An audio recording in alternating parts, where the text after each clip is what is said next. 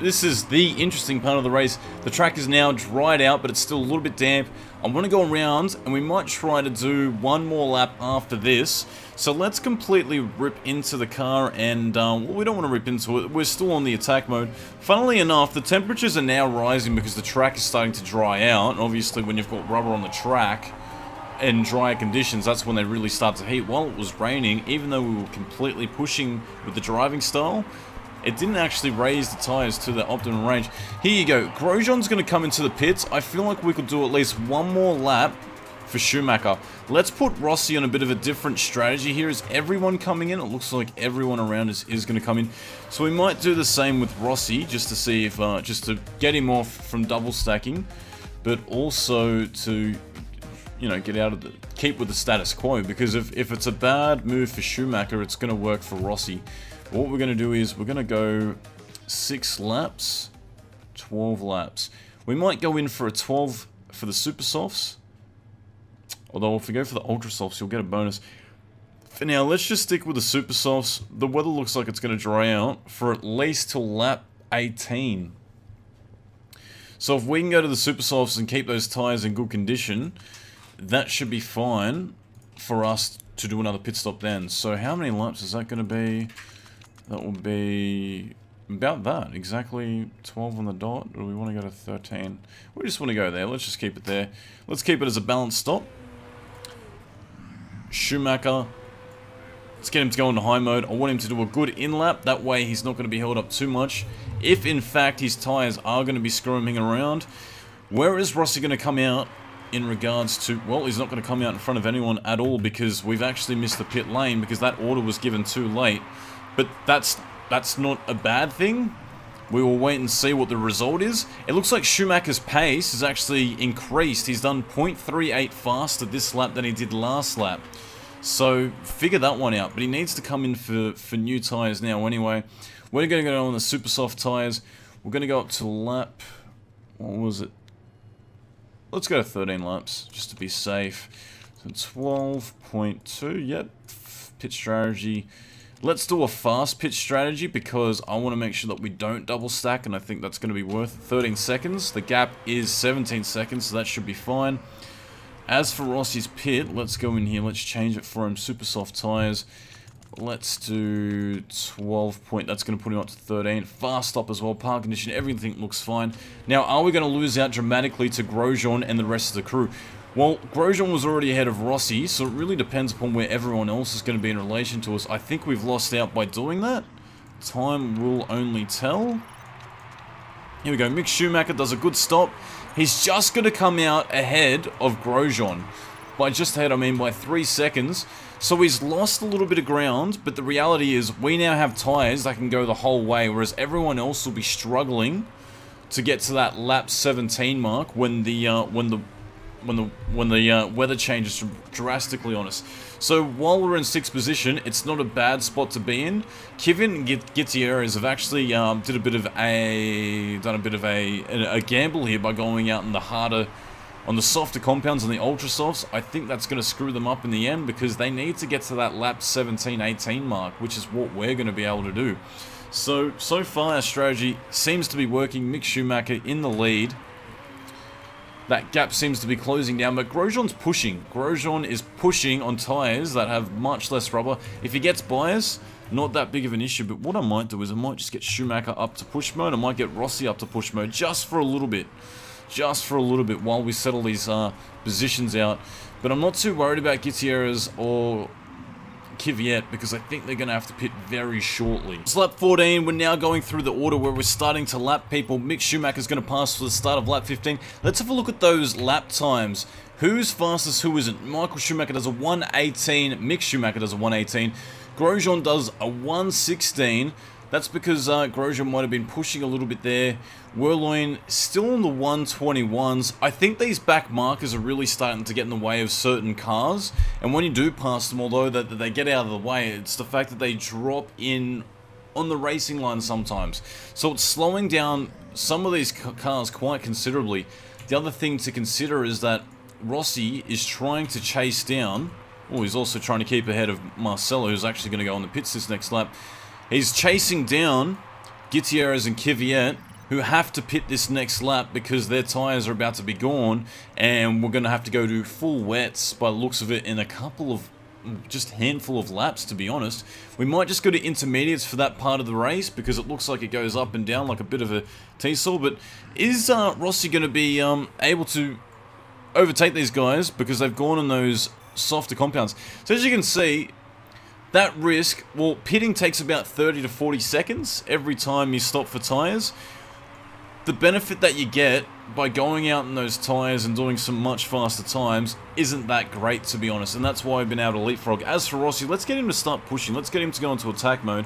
Same with Mickey Schumacher, they have excess fuel to get all the way into the green zone where it is going to start to rain so we don't have to worry about pitting just yet. But our pitch strategy seems to be working unless the weather takes a bit of a turn for the worst for us and it actually stays out to be dry. But we're pretty comfortable right now. It'll be interesting to see if we could get Rossi into a podium position, into the top three somehow. Wehrlein's just a little bit ahead. We might just get Rossi to start pushing. As for Schumacher, where is he in the track in relation to everyone else? He's that far ahead of Grosjean at the moment. Grosjean also has a technical issue. That seems to be the uh, common occurrence of this uh, series, that Grosjean has some technical issue and has to pit right at the end of the race. Wehrlein is just a little bit ahead of uh, Rossi, actually, the gap is much bigger. The gap to Rossi is 15.8 seconds, so something dramatically would have to happen for Rossi to be able to leapfrog into the top three. But, where is everyone else in relation to us? Kvyat is 7 seconds behind us, with all cars having to pit. So I'm really happy with that thus far. Let's get Schumacher if he goes faster in the first split, I'll get him to set another fast lap. That's not going to be the case. So let's just get him to go back into medium mode. There's no need to keep pushing for him. He seems to have this race wrapped up unless something seriously wrong happens. Something seriously goes wrong, I should say. But I'm pretty comfortable at the moment, and it should start raining in this next lap, but we don't want to come in, we want to hold it out for a little bit and then come in once it's damp enough. It looks like it's going to get damp really, really fast. The other thing is, I only want to go to intermediates. It'll be interesting to see who goes to wets, because it is going to be that wet for a couple of uh, laps. So let's just try to get this weather correct. And as for Schumacher, if we pit him, he's got low fuel anyway. So if we go down to low fuel, he should be able to get around for one more lap, I believe. Or he might just fall short. But at least we're not going to screw up his lap times. Is anyone else going to start to call in? Yep, Grosjean comes in. So Grosjean's now a threat. I think we're going to have to come in for Rossi now. We're just going to wait and see what tyres Grosjean comes out on. If he does come out on any tyres at all. A little bit of time. What's the stop? Is he going to come out? No, full wets for Paulo, really. I don't think it's going to be that wet for that long. We're going to risk it for the biscuit. I'm actually going to send out Rossi on a new set of intermediate tyres. I think we're going to sacrifice the first couple handful of laps, but I think it's going to come back and pay dividends for us. As for fixing anything, I think we're good enough to not fix the gearbox at 29%. That's not that big of a worry.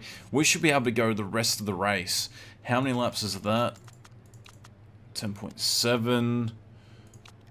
Yeah, that should be perfect. It's going to round up to 11. It always rounds up. That's a bit of an FYI tip. Here we go. Rossi coming in the pits. No, he's actually going to miss the pits. Screw everyone because we didn't call it early enough. I think you should be able to call it up to that line. It's pretty crazy that you can't. But that's going to stuff Rossi out. Where is Mick?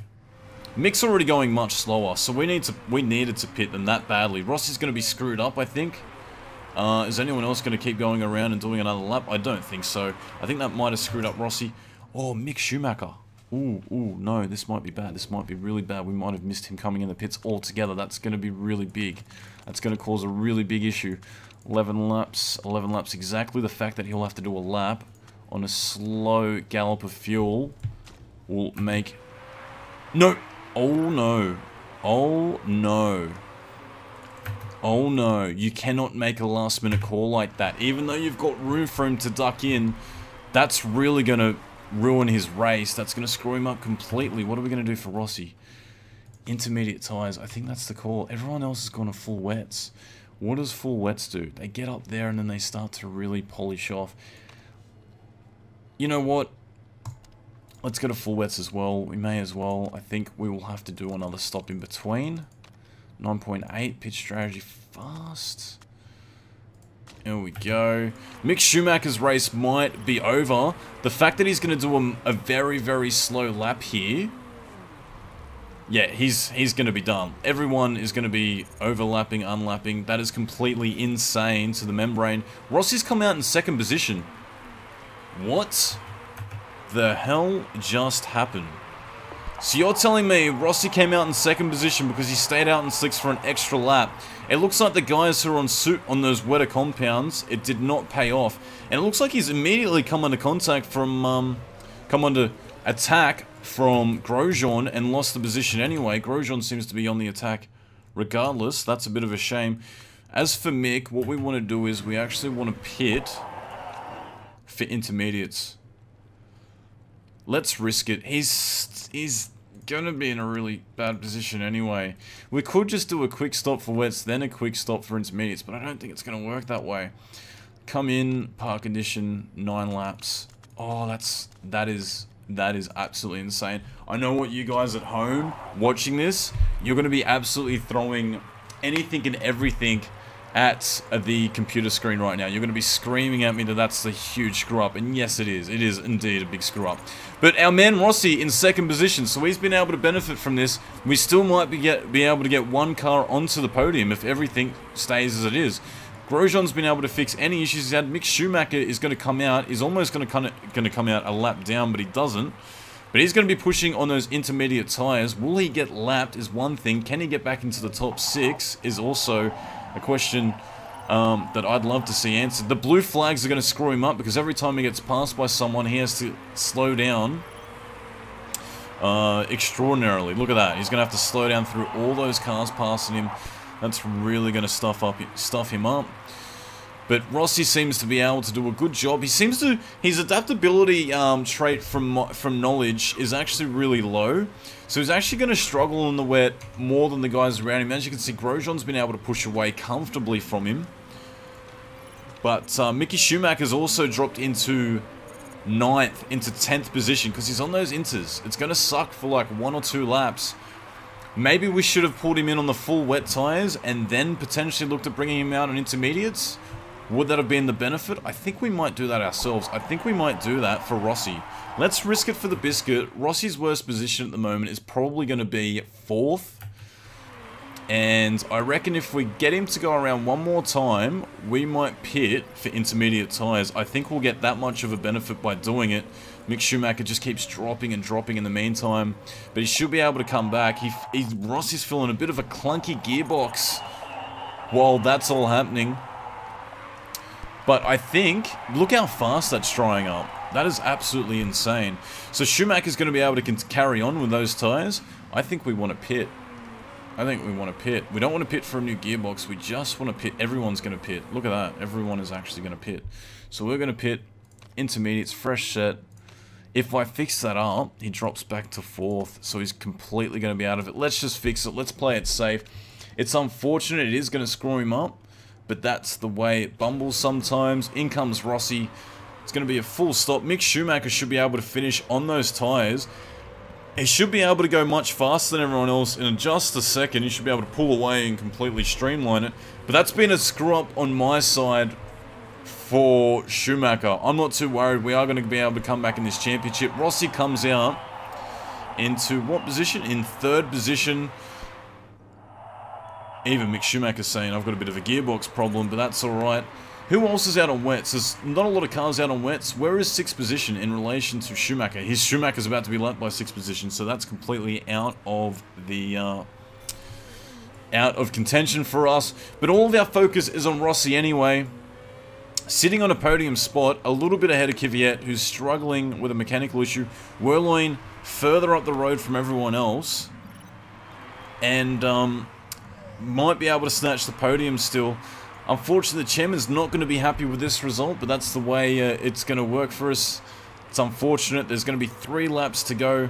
Daniel Kvyat has a mechanical issue. It's blown up. He's now dropped back. Can Schumacher actually punch back into the top six given all the issues that's going to be happening around him? He's got his own issue as well. Let's just get him to keep going around, see if he can circulate and get a position or two. It might happen. It just might be possible here. He goes into 10th position. Kvyat. Ocon's all the way there, unless he has a, another blow-up. That's fine. So, two more laps to go for both of our drivers. We are technically unlapped at this stage. Or we are lapped by at least one lap. Or unlapped. I think we're just lapped by one lap at this stage. But Ocon seems to have gone up. No one else seems to have any technical issues. Oh no, I might have misjudged Rossi. Where is Gutierrez? Gutierrez is actually catching us. Don't tell us we're going to run out in fuel for this other car as well. I don't think we should. Rossi's going to finish in third position. Mick Schumacher gets a, a disappointing 10th. But that's alright. It's a bit of a screw up in strategy. One thing to note is that if it's going to rain for two to three, four laps and heavy, it's better to do three to two, four laps on the compounds that are set for that weather condition and then switch. It's no point going and uh, pushing it through and forcing it through a tough environmental condition just to make sure that you're um that you're going to be working in the window. So it's everyone's done it and I got to admit that's the better strategy because you lose about 10, 11 to 15 seconds a lap when you aren't on the right compound. And um, that two laps equals a pit stop. So by doing that, it puts you on the, on the right strategy. Not only that, but it also ensures that if you come in and you have any park conditions, you can fix something in the, one of those intermediate stops. Or decide that you don't want to make a stop then because you can push it out to the next stop that you're going to do in about five laps time, which was the case here. So not a great result, wise. Schumacher gets the fastest lap, though, which is good news. I think it might be enough to get us into uh, second overall for that race. Two points, six points for Manor. Daniel Kvyat comes seventh. So what does that mean for our team? Does anyone get caught cheating? That's another thing to keep an eye out for. That seems to be a common occurrence in this championship. Here is the tip of the day. If you uh, attempt to buy something that will make you bankrupt, the chairman will prevent it from being bought. We knew that already. Chairman's happiness is going to go down by looks of it 23%. That's not great. Team markability does not move. It never moves. The happiness only goes down by 2%. Schumacher goes up quite dramatically in all, most of his traits. The morale goes down. The relationship stays the same, but Rossi goes up. So, a bit of a disappointing result. We hit our target to get our bonus, which is 2.3 mil, which is good because all we want to do is keep improving our infrastructure. Guys, it's officially been round four. We are still technically leading the championship. I might just check that just to make sure. We are coming second and fourth in the championship, which puts us in first convincingly compared to Manor. I'm not too worried about it. What do you guys think? Let me know down below. That was a bit of a silly strategy there and a miss on the um, on on pitting. Do you think that I should have been able to sneak into the pits there given the amount of room Schumacher had? Or should there be like a, a, zone where you know that you have to pit by the time that you get around the last corner in order to come in? What do you guys think? Let me know and uh, I'd love to hear your opinions. Be sure to like this video. I'm loving the support I'm getting. Next video I'll be sure to talk about more about the infrastructure. I just want to do a quick race video just to give you guys a bit of a zoom and gloom, uh, a zoom zoom as for Mazda, because I'm pretty sure we're going to be going to F1 next season. Thanks for tuning in, guys, and I'll check you guys out shortly. Shh.